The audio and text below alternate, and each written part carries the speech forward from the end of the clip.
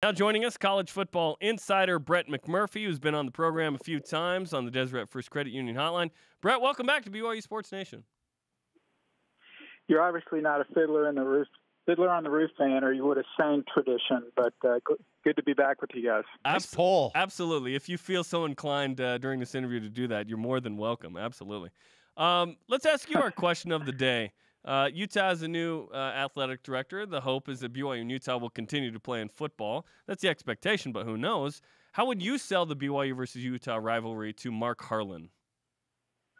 Well, actually, I know Mark very well. Um, he was down here in Tampa at USF, where I still uh, reside. I have not had the opportunity to ask him about the BYU rivalry, but next time I talk to him, I certainly will will do that and try to tweet it out if it's on the record.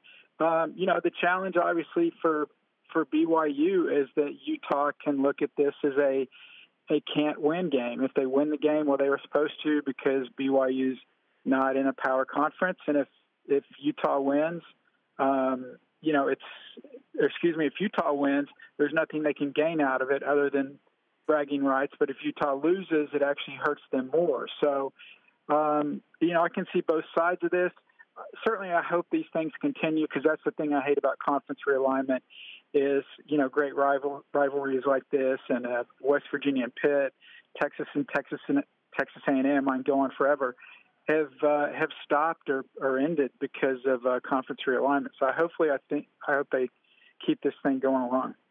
Brett, what's been the biggest off-season college football story in your opinion? Well, I think it's a no-brainer. I think can the national champs repeat? Can UCF win another national title? No, I'm kidding. um, uh, you know, I don't know necessarily, but I think the thing, obviously there's been a lot of talk about the graduate transfer rule. What's going to happen with that? Different things, which I don't want to go down that rabbit hole. Kind of from a bigger picture, what I'm most looking forward to this year is is is Michigan. Um, Jim Harbaugh, the expectations are sky high again. Uh, Vegas has Michigan, I think, in the top five as far as best odds to win the national title, and he still hadn't finished higher than third in the division. Is this the year they finally break through? He's got Shea Patterson at quarterback. You know, is he finally going to deliver on those expectations? And also, there's just a lot of fascinating new coaches across the country. I mean, Herm Edwards, I know him well from my days at ESPN. I freaking love the guy. He is tremendous. I hope he succeeds at Arizona State, but that's going to be fun to watch. Chip Kelly at UCLA. Um, can he renew the magic he had at Oregon? Um, or is quite simply has a lot of schools and defenses caught up with what he did, which was kind of a, he was ahead of the game there. And uh, a guy that worked with Chip at Oregon, Scott Frost, he goes to Nebraska, the alma mater. You know, talk about big expectations there, but I think they'll give him a long leash there and uh, certainly, if he succeeds, I think he'll be there a very, very long time. Brett, BYU's coming off a four and nine season. Vegas has the Cougars right around five, five and a half wins this upcoming season. What's your opinion on this upcoming BYU football team? You know, I, obviously, it's there's a reason um, they have all those big buildings in Vegas, but I think I think that the win total's pretty pretty accurate because it's right. I think where it should be. Uh, I don't think BYU is would get to eight wins. I don't think they're going to be around three or four wins. I think they'll be in that five, six, seven range. You know, when you look at the schedule, you know. By the way, did, did BYU join the Pac-12 since we talked last? I'm looking at their schedule. We wish, Brett. Four or five, yeah, four or five games against the Pac-12, and then you got Boise, who's you know considered, if not the top one of the top two uh, group of five teams this year. Um, so you look at those games, and you know, pretty much they're probably going to be an underdog in all those games. So you're looking at being an underdog off the bat in, in half of your games right away. So if you don't pull off any upsets, then you've got to run the table in the games you're supposed to win to get to a bowl game. Uh, certainly last year, I think was a was a step backward. You know, as you guys know know this a lot better than I did. Um, you know, the struggles offensively hurt. Um, you know, it's just you know BYU's in a tough position, and uh, you know I know they they made the move to being an independent. When they made the move, I thought it was a smart move, but then it just conference realignment happened like overnight, and all of a sudden, it it made the the sledding tougher for BYU as an independent. And I just wonder. I've really never had a chance to ask any of the players this. You guys may have or, or may somewhere down the road just kind of what their mindset is for the season because basically it's national title or bust um, because if you if you get to six wins if you get to ten wins you're going to go to the same bowl game um, whatever bowl game that's going to be um, and so there there really isn't that incentive of a conference championship. Um, certainly, it's not it's not realistic for probably 125 schools to think they have a chance to win the national title. So once you lose that second game, you know that's no longer a carrot dangling out there. So I think that's one of the biggest challenges. And you know, last year every every team has their down years, and obviously that was one for BYU last year. The key though now is for them to bounce back and then obviously get back into the postseason. Brett McMurphy, uh, college football insider, is on BYU Sports Nation. Yeah, conversations with some of the former players, Brett, is, is right there. It's like, yeah, once we lost that second game, it was like, well, what now? And none of the current players will really weigh on, in on it, honestly, but former players have said as much. And I've thought this about the schedule, and, and our fan base is probably getting me tired of going to this, but I feel like the schedule is just too tough for BYU if BYU doesn't finish ranked, I'm not sure that they can be quantifiably relevant. So why not instead of play five to seven Power Fives, why not play three or four, uh, and then three or four good G fives, and then three or four winnable games uh, at that point? Is there any street cred for BYU if they play this tough schedule, but they, they don't win enough? Yeah, I mean there may be, but street cred's not worth anything. To be honest, I mean you're either in the college football playoff or you're not. That's the reality of college football now. And obviously, when B with BYU scheduling up like that, if they win those games, then they have a shot to get to college football playoff. If they lose those games, then they have no shot. And then, like you mentioned when you're talking with past players, once you lose that second game, there's no incentive as far as well you know, if we win more games, we're going to go to to a better bowl game. It it every school that's in a conference, you know, you know that if you win nine games, you're going to go to a better location than if you win six games. Um, but with BYU being an independent and having to secure their their bowl games before the season or having ESPN help them out, um, it it really doesn't matter if they're six and six or they're nine and three or ten and two. They're they're going to the same location.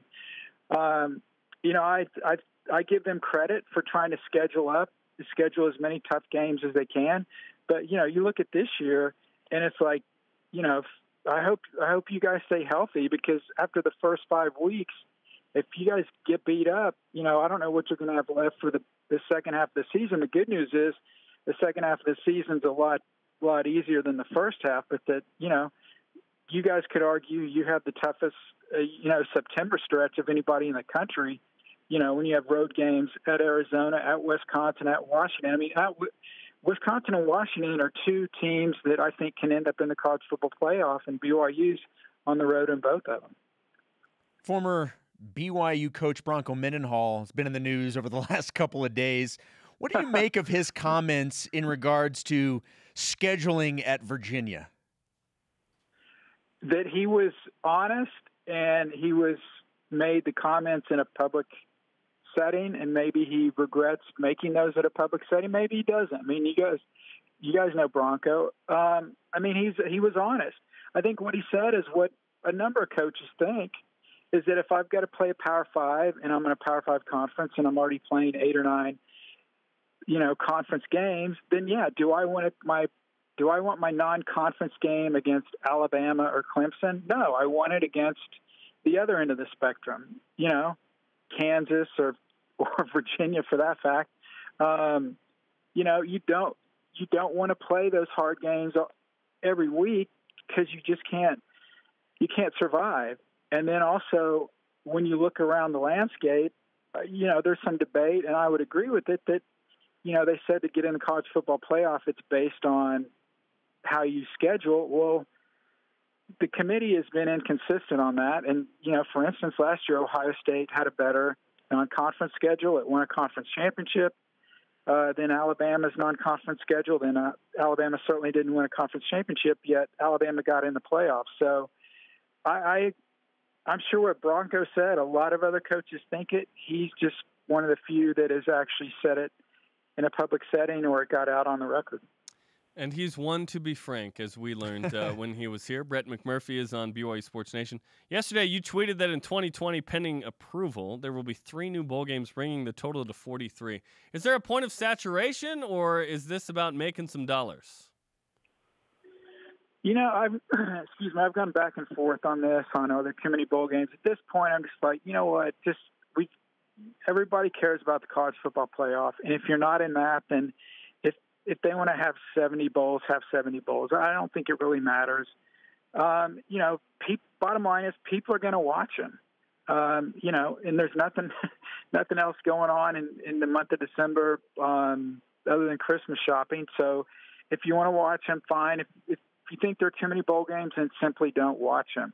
Um, you know, this, this one of the things that the NCAA competition committee and the oversight committee has done is they have taken the four-year historical average of number of bowl eligible teams per conference, and they have capped that number. So that's actually why we're getting three more games, because based on how many bowl eligible teams there have been in the past four years, that would support 84 bowl teams. That's 43 bowls, not including the conference, or excuse me, including the conference, or excuse me, championship, the national title game. So you would need 84 teams.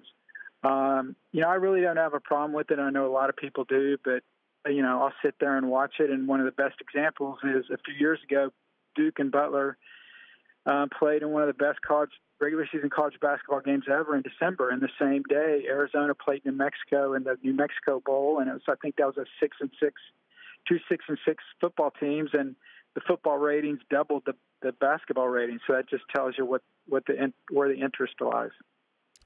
Brett McMurphy's on BYU Sports Nation. Brett, we appreciate the time. Great, great insights, and we uh, hope to chat with you soon. Okay, thanks, guys. It's Brett McMurphy on the Deseret First Credit Union Hotline. Deseret First, your values, your timeline, your financial future.